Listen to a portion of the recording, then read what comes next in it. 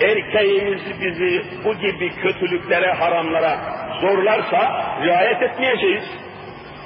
Benim aklım almıyor nasıl bir Müslüman hanım çarşaf giymek ister de nasıl kocası buna mani olur? Benim aklım almıyor.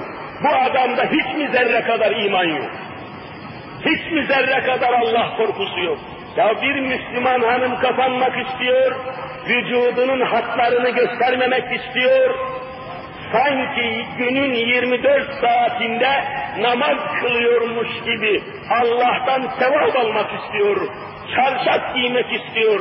Nasıl bunun kocası mani olabilir? Siz bu erkeğe Müslüman diyebilir misiniz? Aklım almıyor.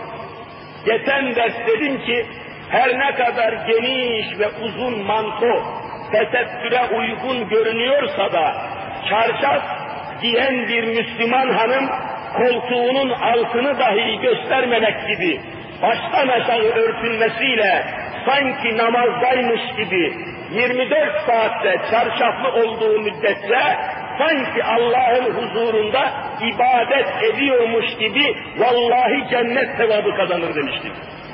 Adam hanımının bu sevabı kazanmasına mani olabilir mi?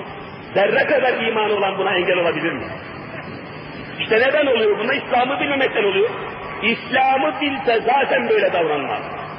İslam'ı bilmiyor. İslam'ı bilmediği için de çeşitli sapıklıklara, çeşitli dalaletlere gidip alet oluyor. İslam'ı bilmediği için. İslam'ı öğrenme hürriyetimiz olmadığı için.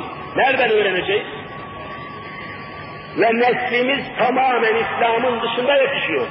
Vallahi şunu açıkça ifade ediyorum bir gün İstanbul müftülüğünde otururken